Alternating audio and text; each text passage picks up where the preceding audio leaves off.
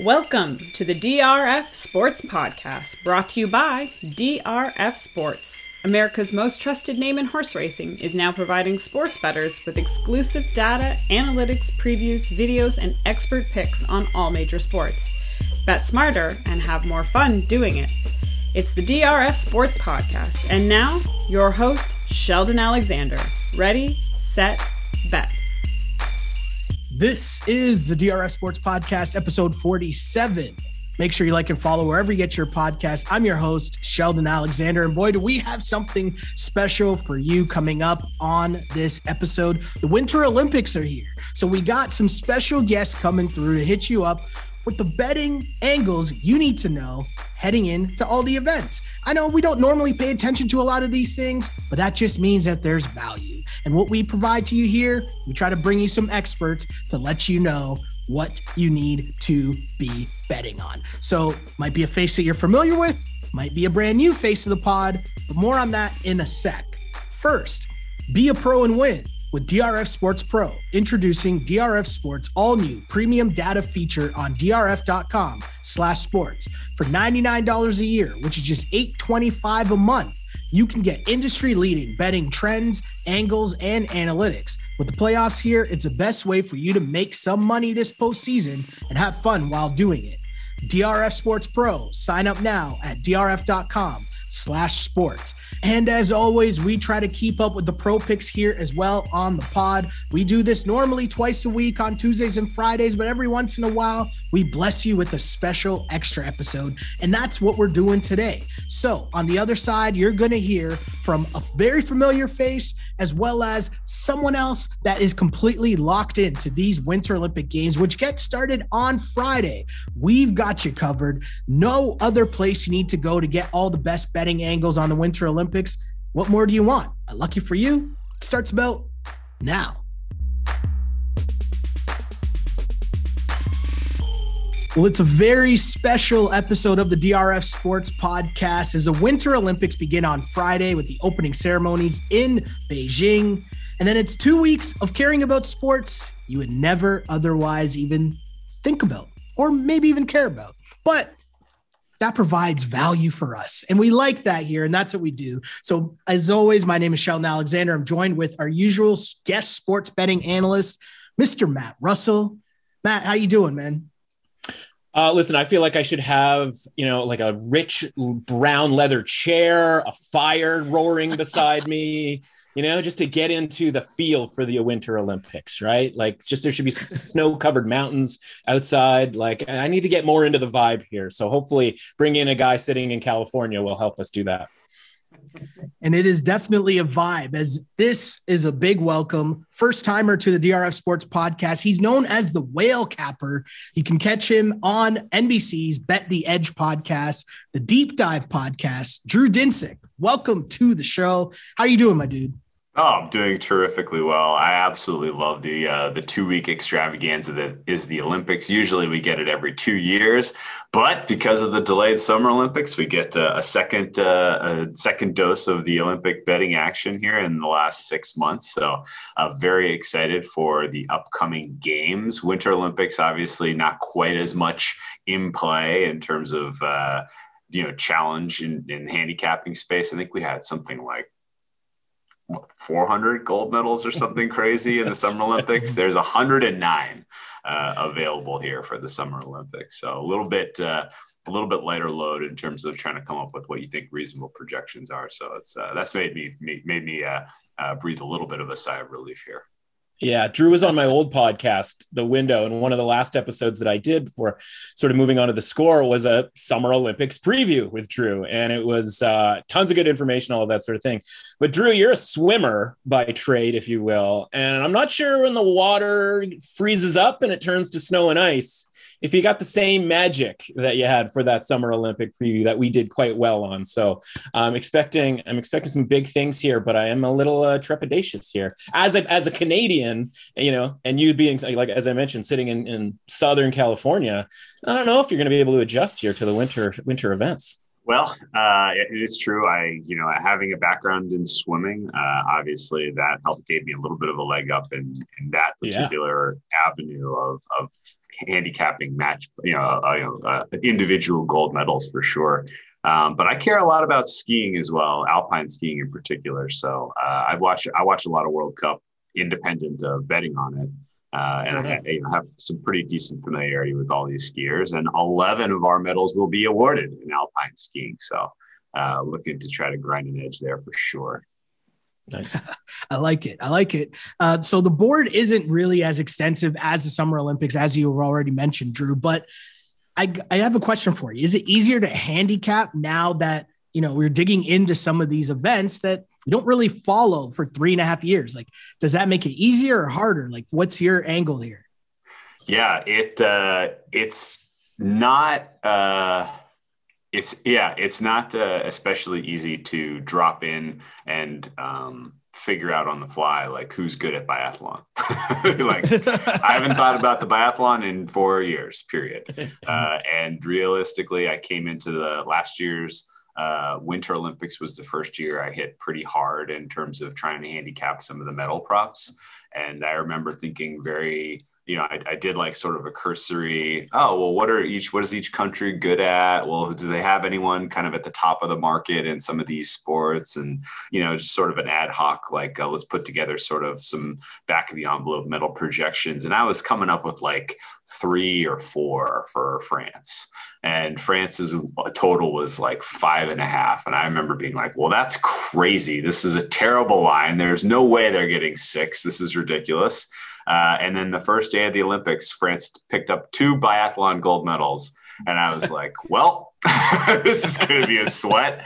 Uh, and uh, sure enough, uh, it came down to, uh, you know, a pretty, uh, a, a pretty wild uh, wardrobe malfunction for the French ice dancing team that really gave the uh, the Canadian team the leg up on the short program uh, that ultimately clinched that French under for me. Um, but uh, yeah, so but you know that that experience was like okay, you can't just hand wave this. You actually have to kind of look pretty hard at each of the uh, disciplines and really try to come up with what you think a fair projection is.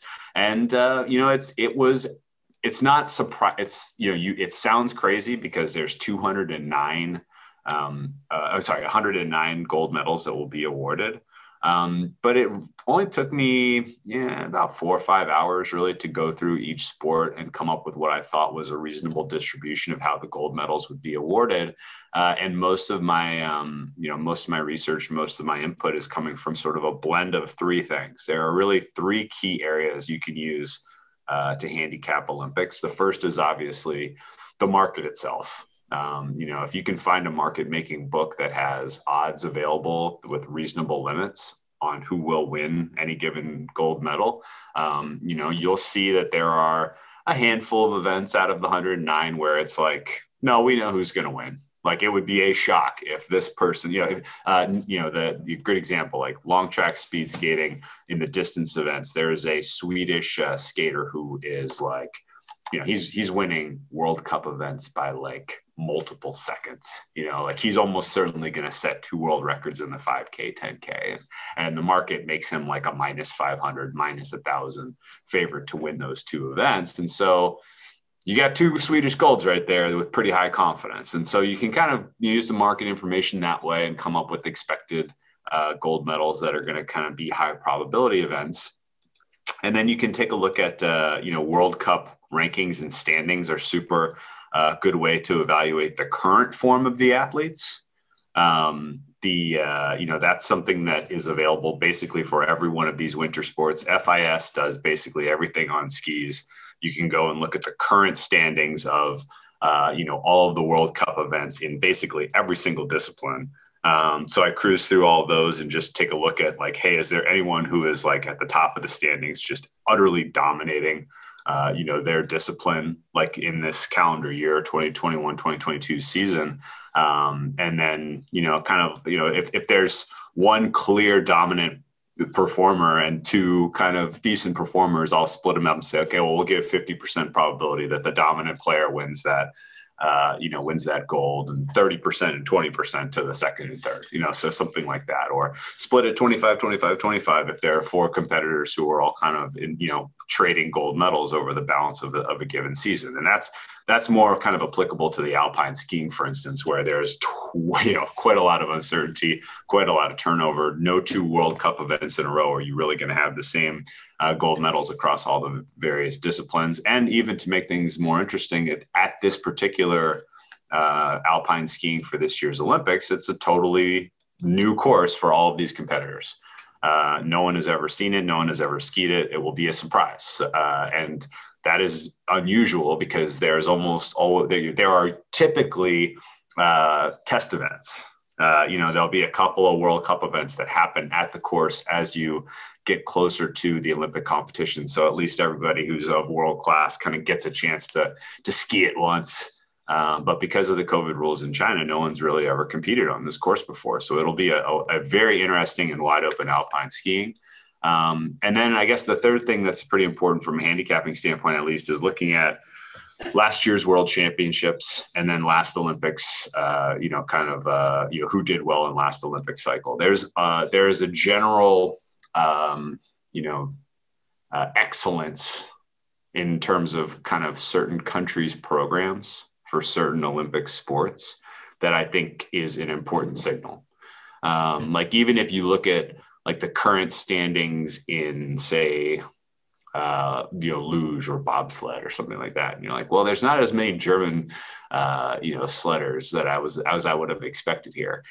Don't let that fool you. Germany will absolutely dominate those events. Like they're really uh, good at timing it right right? Like well like yeah at the yeah, right time. yeah exactly they're peaking at the right time on top of the fact that yeah in an olympic year they're not necessarily taking the the uh, kind of the warm up events as seriously, uh, you know, because it's like, what we care about, you know, th- there's no prize money in it, there's no glory in it. The Olympics are coming up, like we're going to absolutely make sure that our best equipment is available, and our guys are in top form for that day, as opposed to you know really kind of pressing hard to win you know World Cup event number three in Salt Lake City in the middle of December, right? You know, so so there are there is for sure, in my opinion, like some programs that just absolutely excel in given disciplines that you have to sort of have respect for.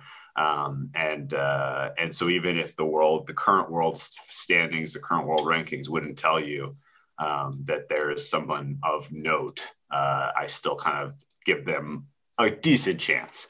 Uh, mm. And you know, this this is I, I, bring up the German sledders is a good example. The Austrian uh, alpine skiers is a great example. Um, the uh, Norwegian cross country skiers is yeah. a great example. Uh, Russian figure skaters is a good example. United States snowboarding team in general overperforms. The Dutch long track speed skaters, the South Korean short track speed skaters. Those are sort of the uh, you know, don't look past. Uh, yeah, everybody has their own department in the Winter Olympics. Exactly. Right. Like that's, everybody's got their yes. own sort of specialty. Yeah, yeah. You're like, oh, listen, if you're trying to if you're trying to uh, speed skate, don't mess with the with the Dutch. But if we're moving it over onto the snow for cross country, the Dutch have no chance because the Norwegians have been working on this the entire time, right? And it's like that's exactly. in a way that's kind of fun because it isn't just you know apologies you know to to you guys down there. It's not just the Americans winning everything. Like sometimes it's, cer- it's certainly not this year. well, yeah, we'll year. we'll talk about that. Um, you mentioned you know sort of Norway here. And you look around the market, and I know sort of medal count is a big thing for you. Your, your big bet on the medal count this past summer was Japan.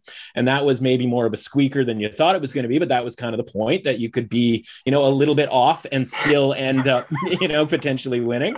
Uh, so, you know, f- sort of a three part question here, and you can take it as, uh, you know, as little or as long as you want here. So, do you have a, a big medal count bet that you like a ton? I'm looking at this market, sort of question number two here.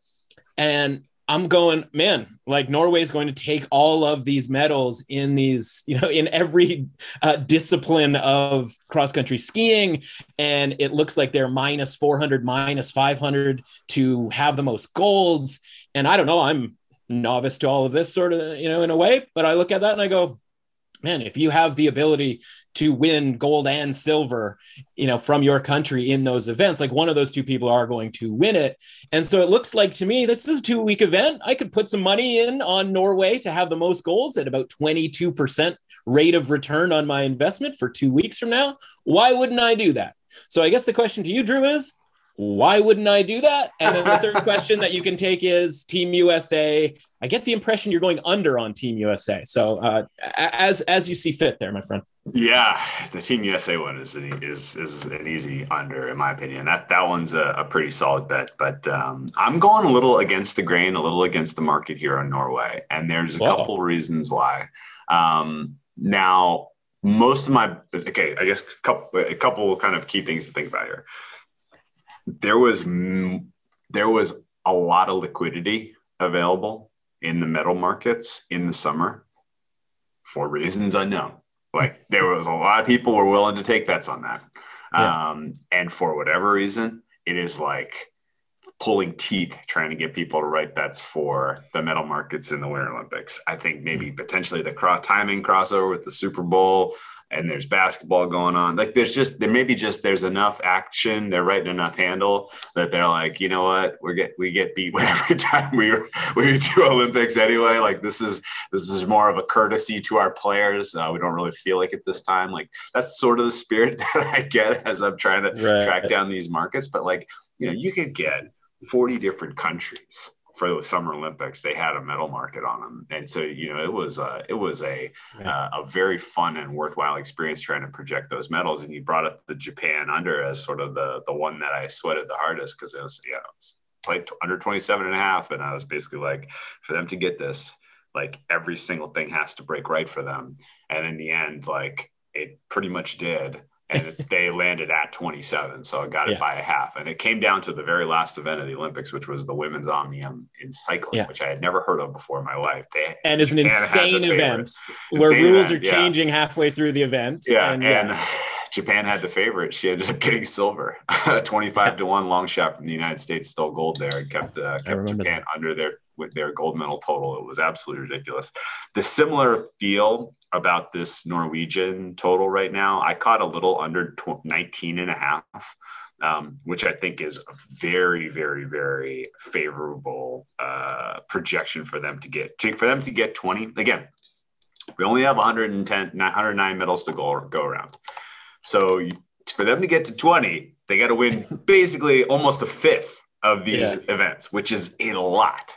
Yeah, they got to get their specialties and other people's specialties. Exa- right. You said it exactly correctly, right? Um, they they have to not sweep the cross country and the biathlon, but they have to basically dominate cross country and biathlon, catch a couple alpine skiing golds, catch a couple, um, you know, catch a couple of, of, speed skating golds.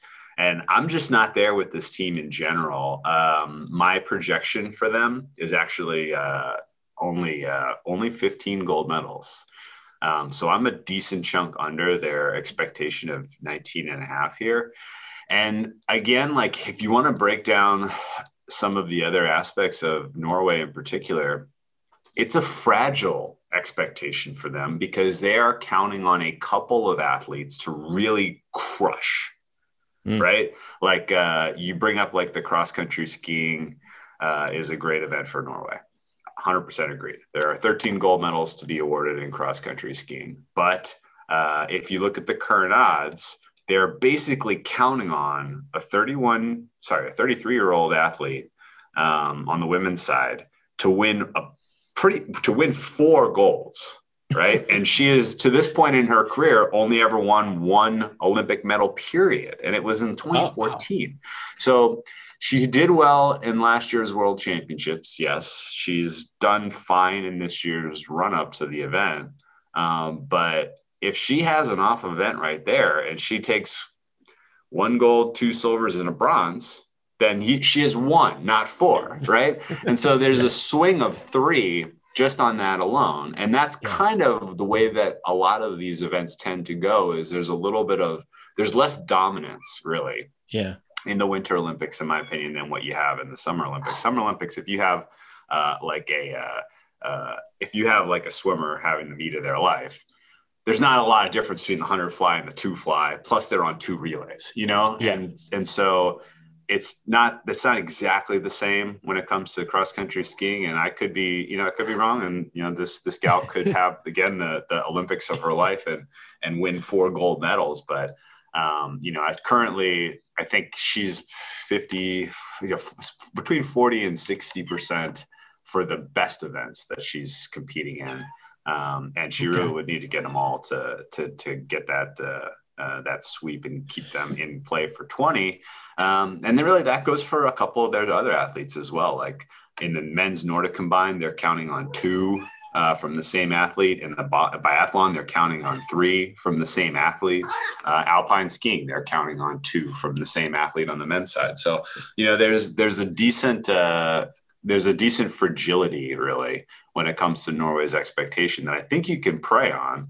Um, and this is actually entirely setting aside the point that a lot of Norway's success in cross country skiing recently, especially, I don't know why my cat dying to be on this call, but Huge, huge we Winter can do- Olympics fan. huge, Huge You can do a four way pod. It's okay. A four way pod.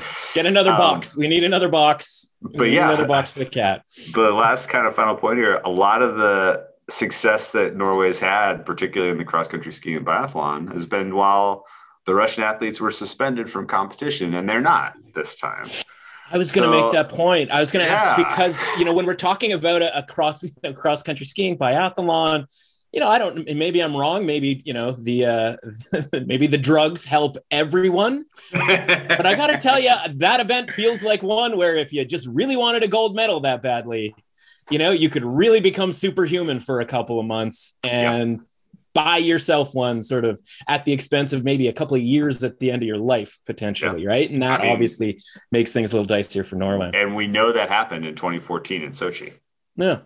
But- and and here's the other thing if they get busted, the bet has already been paid out. Yeah, right. Right? Exactly. So well, Norway yeah, we'll hear about over- it in 2024. There'll be some news dump on a Friday. Oh, by Yeah. the way, Russia was uh, had eight Olympic athletes that were suspended and stripped of their gold medals. Yeah, and I'll be like, deep oh, into wow. my account, you know, Yeah, going, wow, I've got okay. the I have the Yeah. confirmation number from this from three years ago. Can I Like, can I wow. get that paid out now? And I would get laughed at in that circumstance. So okay, so it, Yes, that means yes, there's 15 gold medals.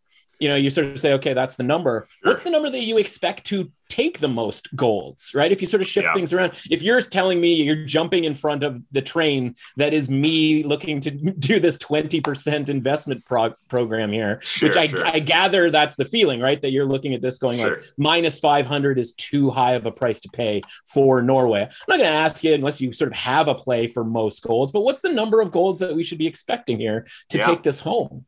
Well, yeah, I mean, I did, I did make a play. It was, it was, it's a price that sadly is difficult. Actually, I take that back. You probably can still find this, but the, there's like Russia ten to ones out there still. And again, this kind of Yep. goes to our what we were just talking about. Um, if they overperform, if they overperform in cross country skiing, not only is their Yeah. count going up, but they're taking them away from Norway. Right. Yeah. So this is Yep. so this it's, it's a uh, it's a two edged sword there, um, and ten to one for Russia uh, versus uh, you know minus 500 for Norway is, plus EV in my book. I'm expecting Russia to get 11, and that is if they only pull three cross country skiing. I'm expecting Norway to get 15, but that is if they pull seven cross country. And so if you flip two, all of a sudden now we're tied. Yeah. Um, and uh, and realistically, I think it's going to take at least 13 to win most golds. Um, and you know, I think there's not a lot of Russian athletes that I would say are quote unquote solid gold. like, like, Yeah. ooh, yeah, no, ooh, we're in great shape here. Don't worry, don't you don't need to watch that event. You don't need to watch that event. We got them. Um, they really only have two figure skatings where I would say they're uh, you know better than 80% chance to get a gold medal. So Russia could underperform. Surely they could come up with five ultimately, you know, Sure. ultimately, and or they could get you know athletes suspended in you know in the course of the Olympics, at which point they get you know disqualified and stuff. So you know there there certainly are there are holes in this strategy. Don't get me wrong, but uh, Russia at, uh, at 11 golds is one of these that I think is high variance, right? Yeah. Like Mhm. it's 11. It could be 15, yeah. it could be five, five. right? Yeah. And um, and like let's talk about like the one other team, you know, the one other country that has a chance is Germany. And yeah. Germany is I'm at 11 also for my projection, but it's like 11 that you can write in pen. Mm. Like, there's not a lot of upside where things break right for them. And there's not a lot of events where I see other teams reasonably chipping away at their total. Right. Um, so that one's like, uh, it's like, you know, that one's a narrow distribution. They're going to be like, you know 9 10 11 12 if you could put if you could put germany in a in a gold medal teaser you absolutely yes. would do it Oh you my god! You could tease you could tease Germany down four goals, That's a that's a that's an outstanding tease. Or up, yeah. or, or, up, four golds. Up or up four right. golds. They're not going. They're not going. They're not going above fourteen. They're not going below. Uh, they're not. I think their total is right around 10, 10 and a half. So they're not. Yeah, they're not going over 14 and a half. They're not going under six and a half. No way. Unfortunately, that's not a thing. But. So, Drew, you mentioned Team USA. You mentioned Team USA, and I've it piqued my interest though. Sure just where you're going with Team USA and why. Like, can you elaborate a little on on kind of where why you're down on Team USA? Yeah, for sure. Um, I this isn't even really part of the angle so much, but I think it's worth kind of reflecting on what's been going on with the U.S. Olympic program uh, in the last four years. Not just the Winter Olympic program, but the Summer Olympic program.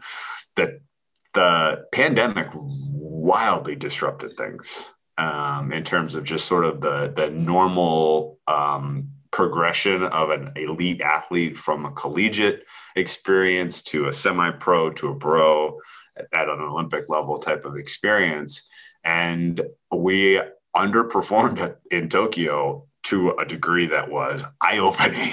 like, what the heck happened, guys? It was a really, really bad Olympics for us, and it wasn't even one sport; it was across all the sports.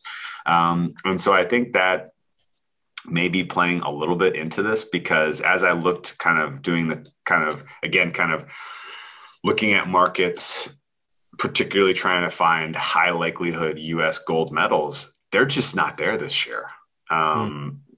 the you know the big brand name excellence you know excellent athletes uh, the Mikaela Shiffrins the Chloe Kims the Shaun Whites all of those uh, athletes have questions swirling about their form.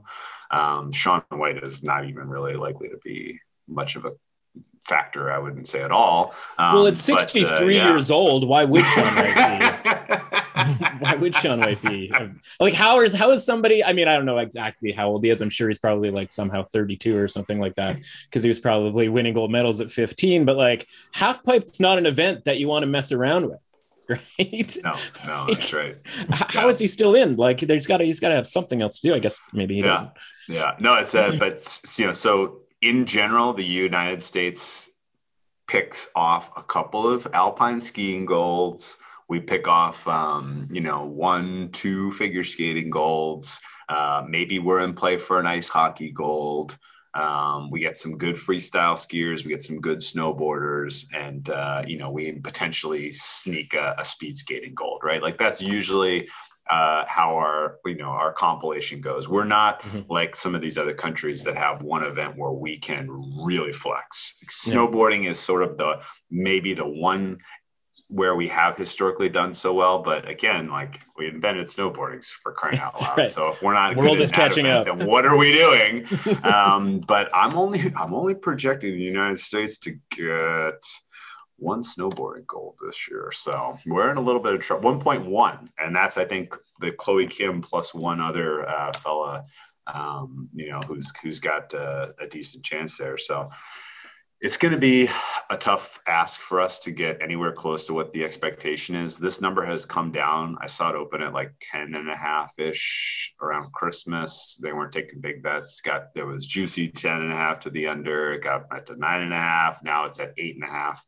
Some of this is some athletes uh, have gotten hurt and pulled out who had reasonable realistic chances some of it's people just kind of doing the math and realizing like holy smokes like where are the golds going to even come from um, if we get one in alpine skiing from Mikaela Shiffrin, that'll be a win.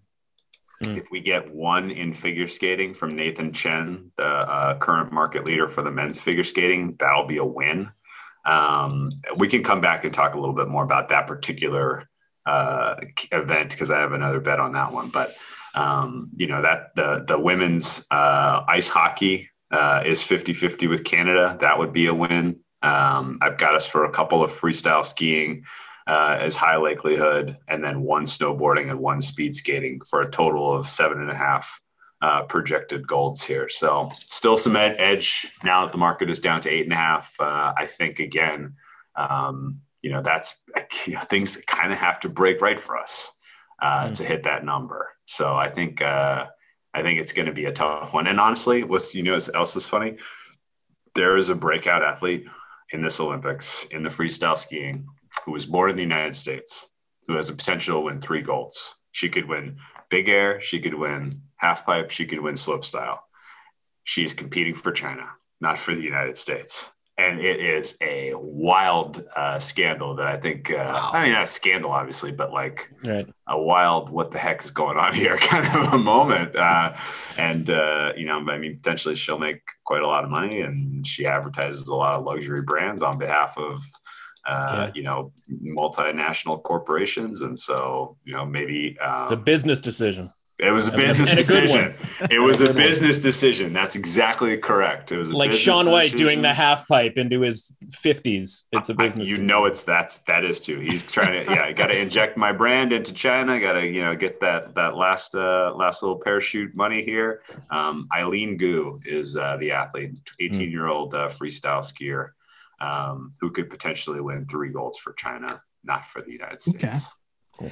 I feel I feel as a Canadian, I know Matt is a Canadian. I feel like I got to ask you about sure. Canada and the medal numbers, and I'll full on admit my bias in wanting to know the answer to these questions because hey, there might be some events that I'll be watching and might make it a little more interesting to sprinkle a little while I'm rocking my Canadian flag. So I let me indulge for a couple questions here, but. Canada used to, you know, be able to score in figure skating, but there's some optimism now, right? Some of that maybe comes from speed skating. Mm. Where do you kind of see the shift. value or maybe the better angles for the Canadian contingent if I were to be looking, you know, some place where I could also win some money while cheering for gold? Okay, or great. Medals, faster, essentially. Great questions. uh, I'll give you sort of the the the um the events that Canada has the highest likelihood here. I like it. Um, I like it. In speed skating, they have a uh, there is a very fast skater for the men's 500 on the long track. Uh, so the men's 500 is the shortest event uh, on the okay. long that's contested on long. Basically, a dead sprint. Um, and uh, I give them about a 50% chance to win gold in the men's 500 on the long track. Uh, on okay. the short track speed skating, um, let me f- jump up to and roller that. derby, as we like to call it. Yeah, yeah, I have yeah, a say. yeah, I have an expected medal haul for Canada of uh, one and a half golds in short track.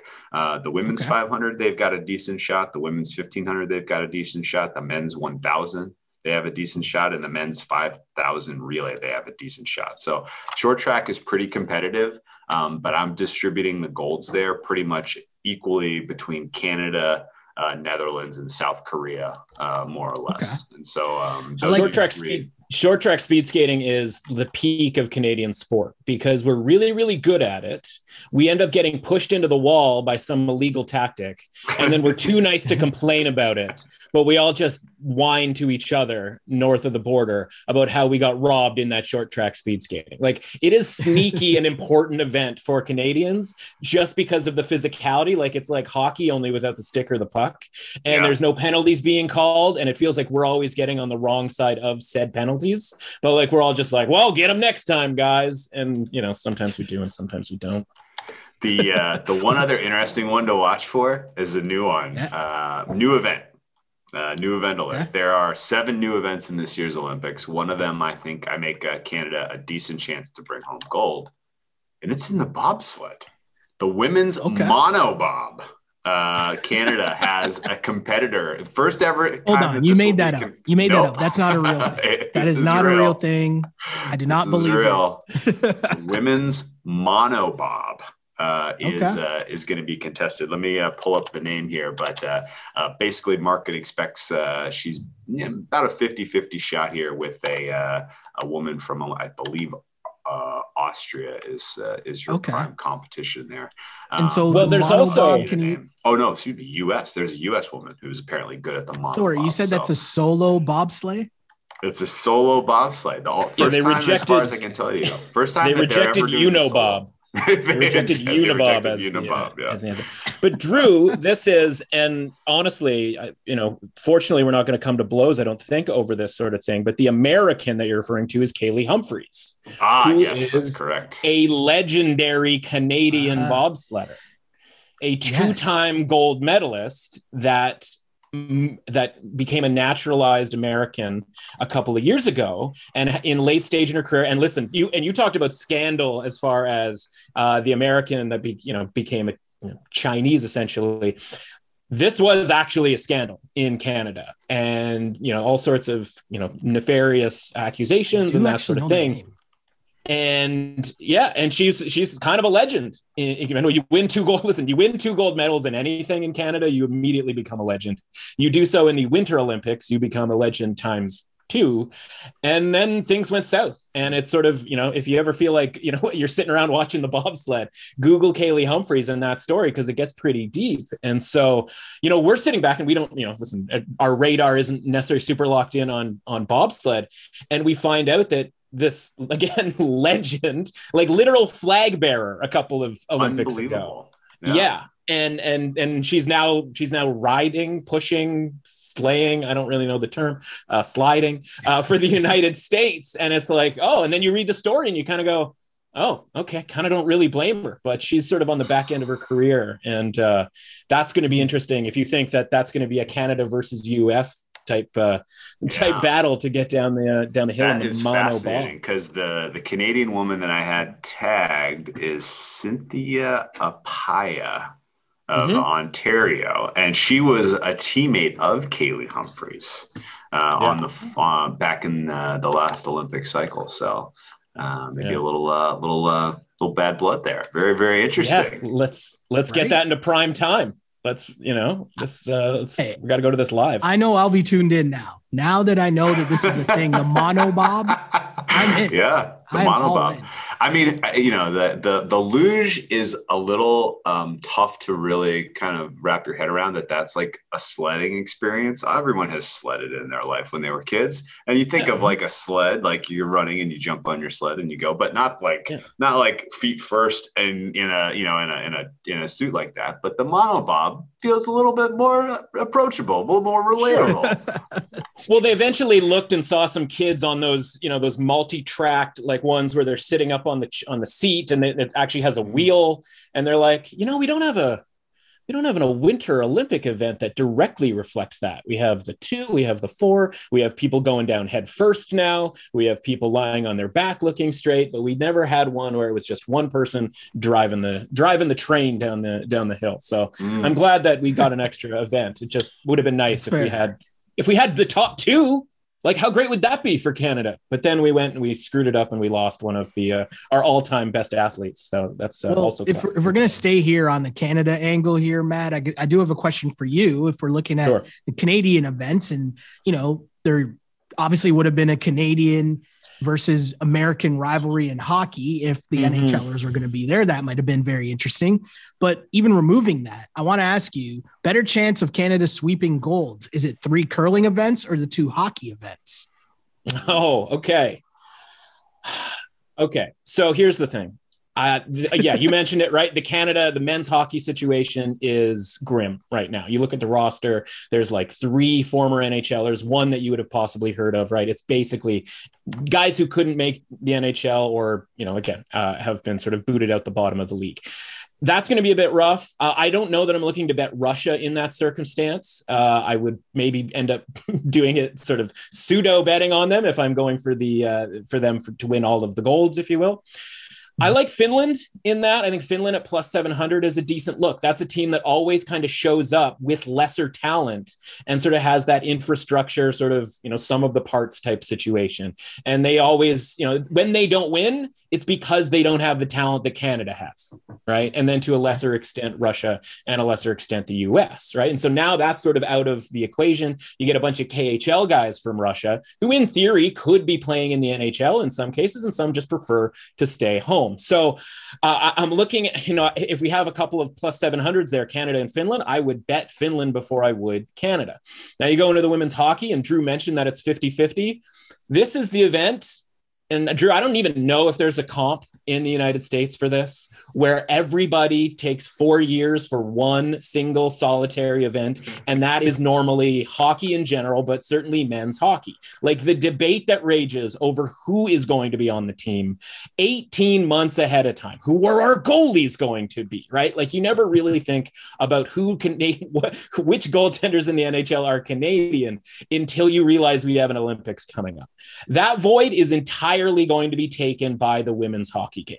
Like, I don't know what happened to me somewhere along the lines, but all I care about when it comes to the Olympics is the women's events. I don't know why. It's the thing, like when we won soccer, it was like there should have been a national holiday. I'm convinced of it, all of that sort of thing. and so, like, yes, it might be 50 50 for Canada and the United States. I just can't even wrap my head around the idea of Canada not beating the United States in women's hockey. Again, I realize that minus 110 on either side is probably a fair price, but I will definitely be betting that. So I'm going to avoid that. On the curling side of things, Drew, I don't know if you ever sort of dive into these sort of um, analytic projections or whatever, but Nielsen Gracenote projected Ooh. zero gold medals for Canada in curling. That is the most offensive thing I have ever read on the internet, which is saying something given the last four to five years that we've had in our lifetimes. Zero gold medals. I think they win them all. I'm going wow. all gold medals, parlay them, put them together however you want. Here's the situation. Last time we sent Kevin Koe in the, on the men's side. And this is a guy, listen, good curler. There's a lot of good curlers in Canada, right? To qualify for curling, uh, the curling team, you have to, you know, you win a tournament. But as Drew mentioned, whether it's World Cups in skiing or some of these other events, right? It's kind of just one tournament and there are a ton of good players, et cetera, et cetera. We're sending legends this time around. We are Ooh. not screwing around. Brad Gushue, who won gold in 2006 He's 41 years old. He's back. Like this is a career guy who has been consistently awesome. Is a you know again a curling legend in Canada, of which let's be honest, there are a few. I, I will acknowledge. But on the women's side, Jennifer Jones. We are going veterans this time around. We are you know this is last chance to dance situations here with Gushue and Jennifer Jones.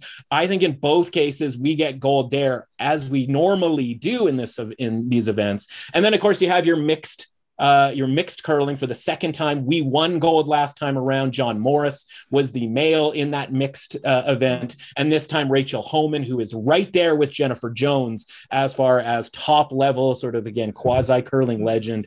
I think that's going to be fine. The reason that Morris is not playing with the gold, his gold medal partner from four years ago, is that she is on Jennifer Jones's team, and Canada does not let you know, it's not a two for one situation in Canada. That's how many curlers we have, where you're literally not allowed to participate in both, right? So Morris can't be on the men's team or vice versa. Homan can't be on the women's team and vice versa. And so in this case, Morris had to look around and he said, "Hey, I need a, I need a, I need a female partner for this for this mixed event.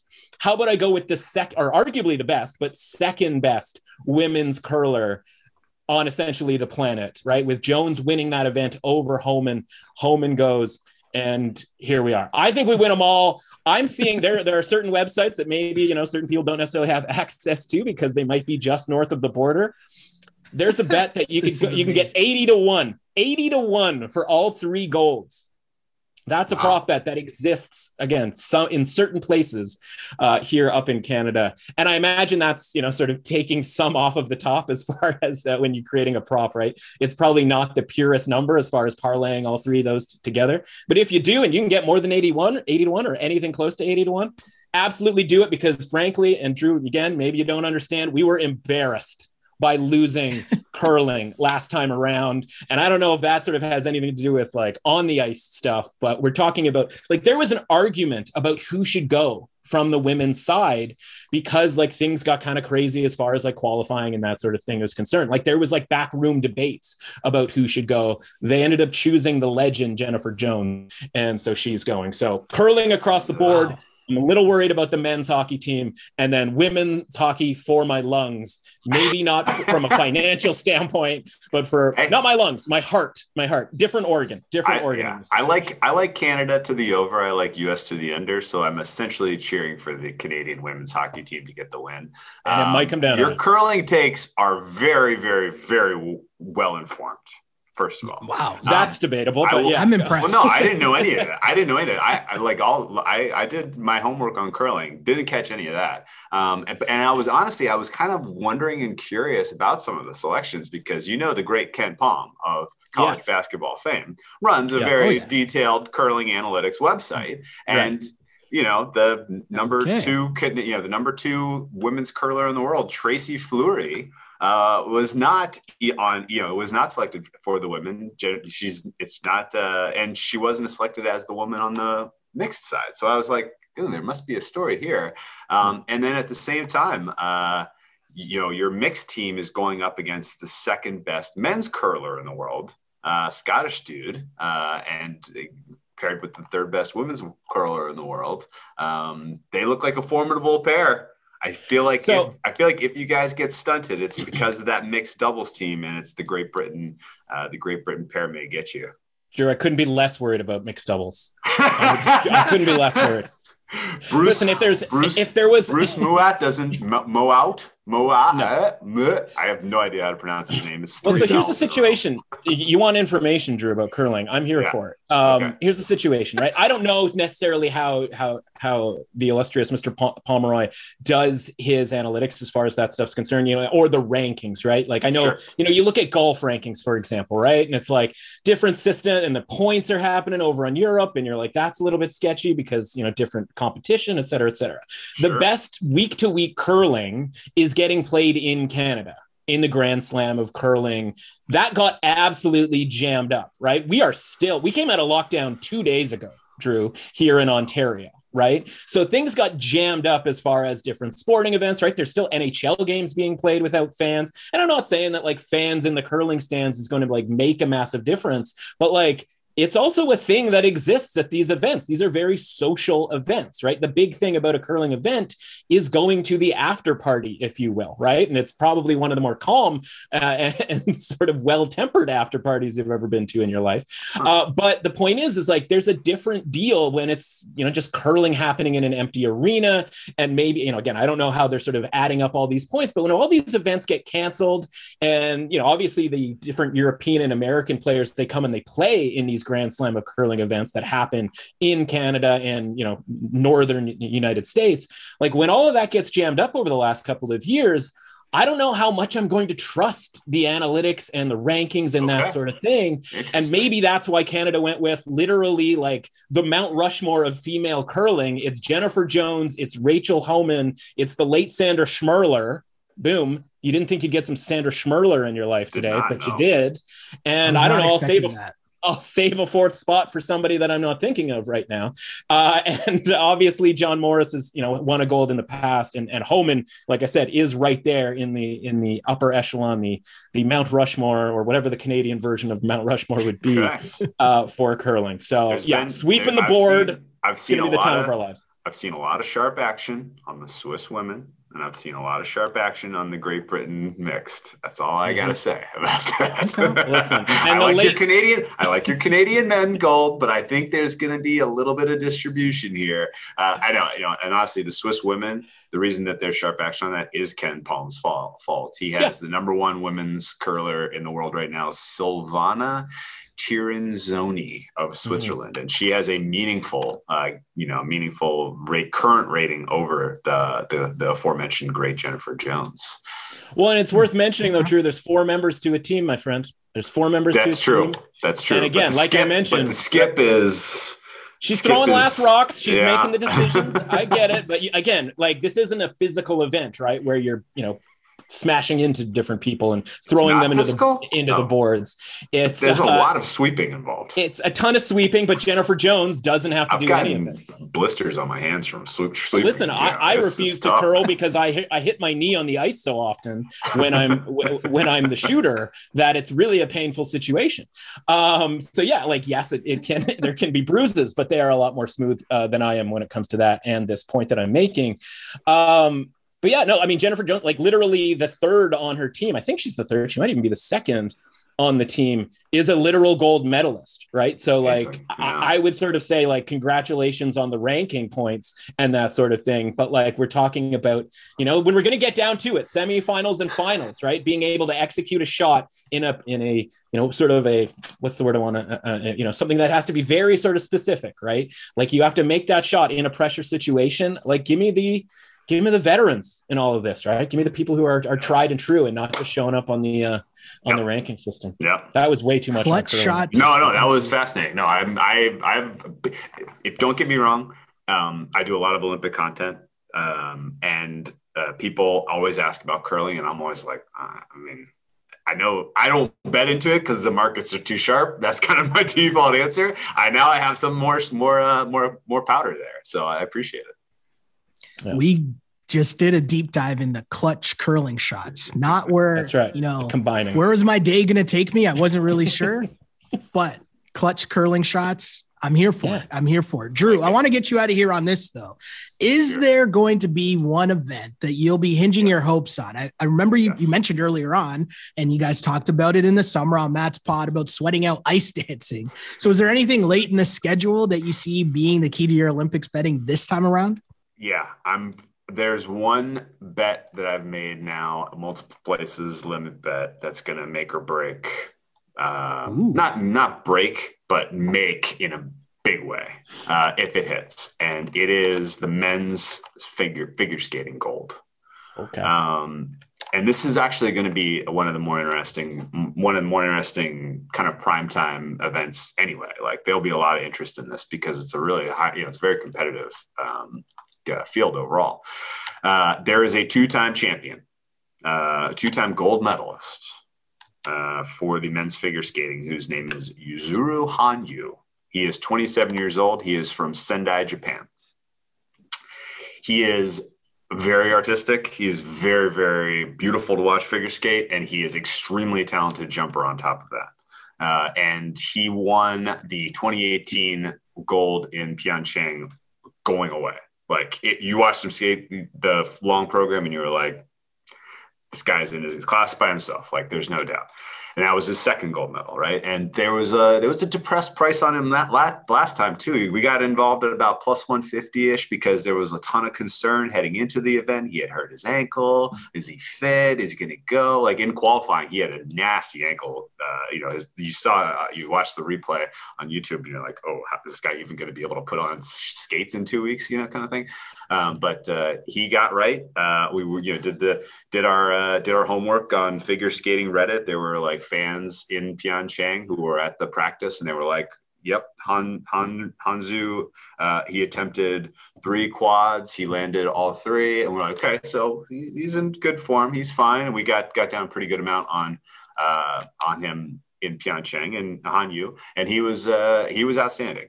Um, the funny part is, after his performance was over, he has an enormous contingent of fans worldwide. They all mm-hmm. traveled to see him skate, and they all throw Winnie the Pooh bears on the ice after his, his skate is over. It was absolutely surreal. Like, what is happening? This is wild. Uh, and so that was a very memorable moment, moment from 2018, getting those uh, gold medal tickets home.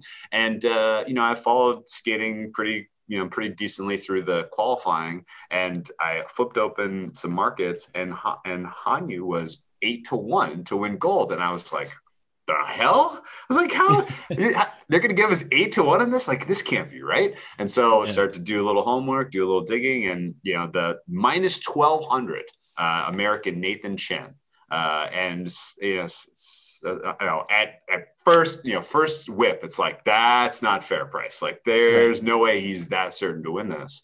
Um, You start digging a little, it's like, yeah, he's won every world since the last Olympics. It's like, okay, that's that's fine. Okay. Uh, you know, he's he's you know he's he's a world champion, no no no doubt. Um, he choked last Olympics. Like the like the moment was way too big for him. He had a very poor performance uh, in 2018.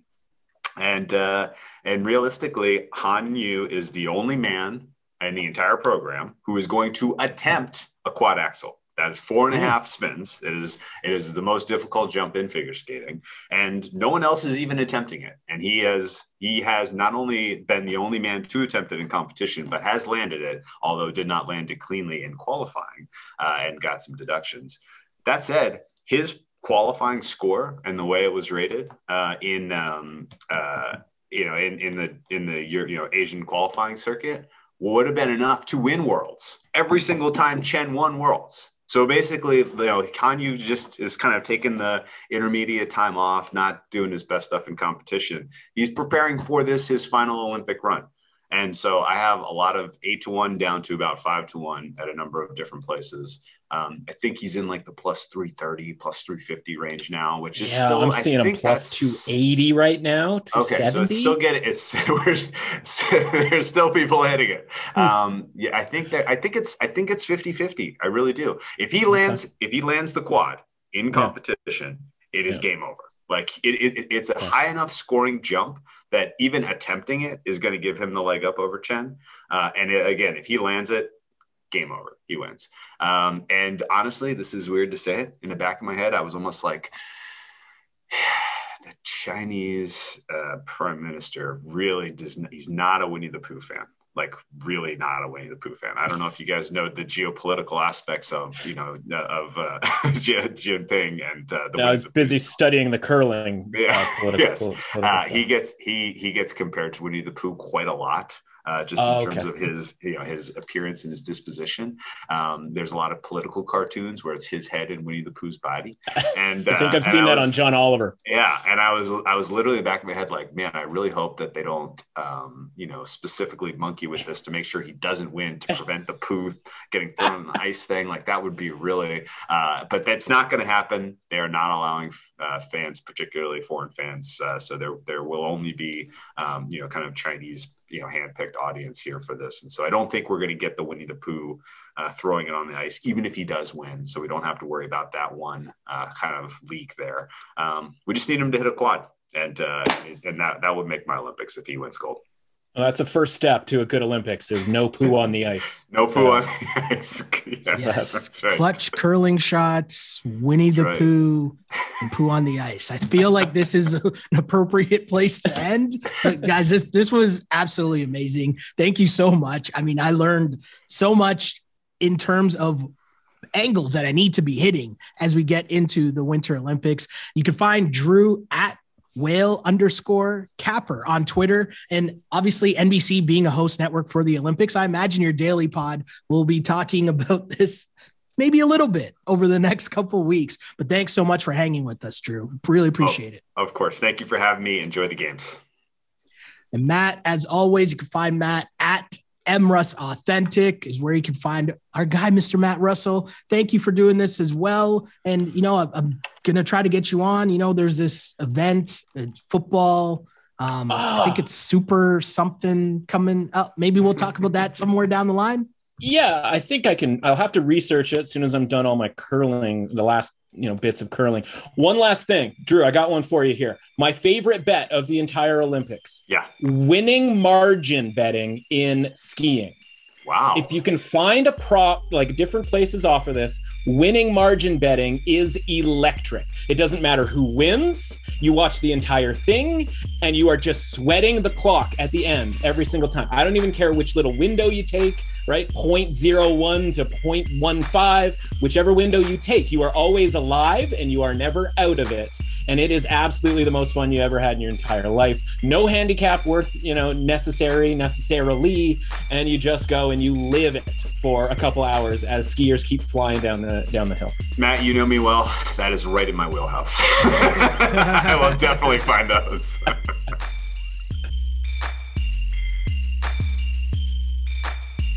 If you want to follow me online, you can do so on Instagram at Sheldon Alexander. and on Twitter at Shell Alexander. Don't forget to like and subscribe to DRF Sports Podcast wherever you get your podcasts. Also, rate us, review us, like us, all that other fun stuff.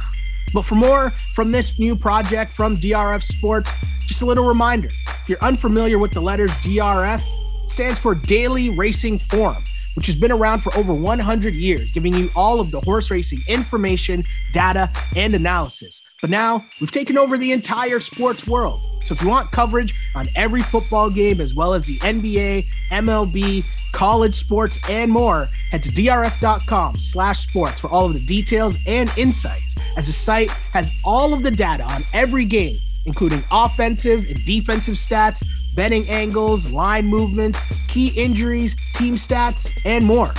The DRF data is what powers our power trends. So if you want to see which trends our analysts have selected, follow us on Instagram and on Twitter. If you want access to all of the raw data, drf.com slash sports. That's where you can find the usual previews as we deep dive into the games. Of course, got you covered on this podcast. However, you want your betting information, we've got you covered. Again, my name is Sheldon Alexander. We do this podcast twice a week on Tuesdays and on Fridays. That's all I got for now. But until next time, see ya. Thanks for listening to the DRF Sports Podcast. Please subscribe, rate, and review the show. For more sports betting advice, go to drf.com backslash sports and follow on Twitter at drf underscore sports.